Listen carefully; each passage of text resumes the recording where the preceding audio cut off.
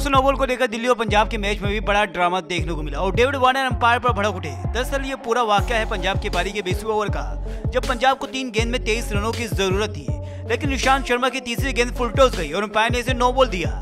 इसी पर David Warner umpire पर भड़क उठे और उनसे लड़ते दिखे। डिसीज़न थर्ड एम्पायर के पास गया और थर्ड एम्पायर ने भी इसे नो बॉल ही करार दिया। अब पंजाब को तीन गेंद में 16 रन चाहिए थे, लेकिन नो बॉल मिलने का भी पंजाब फ़ायदा नहीं उठा पाई और मैच हार गए। मैच जीतने के बाद भी दिल्ली के कप्तान डेविड वार्नर एम्पायर से इस मामले पर बहस करते देखे गए और दिल्ली खुद तो बाहर थी, पंजाब का भी दिल्ली ने खेल बिगाड़ दिया। बाकी दोस्तों, इस नो बॉल को लेकर आप क्या कहेंगे? क्या ये नो बॉल थी? क्योंकि इससे पहले नो बॉल को लेकर कई कंट्रोवर्सी हुई, जिसमें सेम हाइट को नो बॉल करार नहीं दिया गया था, लेकिन इसे नो बॉल करार दिया गया है। आपकी क्या राय है? इस को लेकर।